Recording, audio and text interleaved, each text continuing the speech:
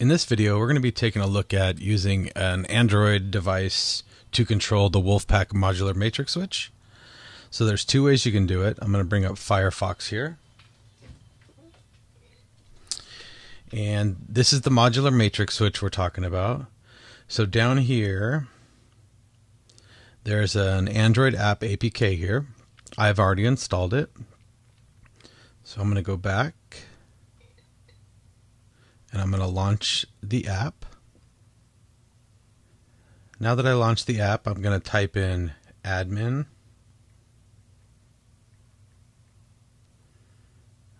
admin. And when you first launch this, you're going to be asked for your IP address. Mine is 192.168.1.80. So now from here I'm logged in. This is my switch screen so I can change my inputs and outputs here.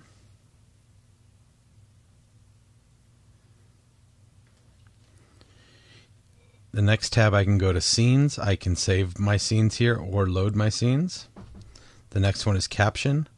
I can name my scenes and name the inputs and outputs. And last is my setup screen where I can change the IP addresses and username and passwords. And now I'm just going to log out. And then I'm going to bring up Firefox and do the same thing.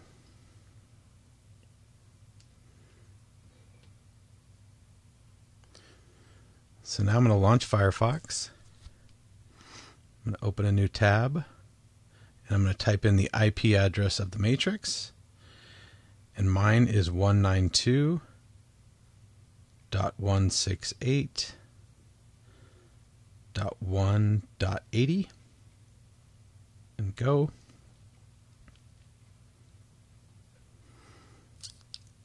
And now I'm logged in. So from here, I can switch my inputs again. This is same functions as the app. Uh, I can my scenes are on this one. Caption, I can name my scenes or inputs and outputs, and setup is the same thing here. And it can be used vertically and horizontal on the Android device. If you have any questions, give us a call 800 841 9238. Thank you.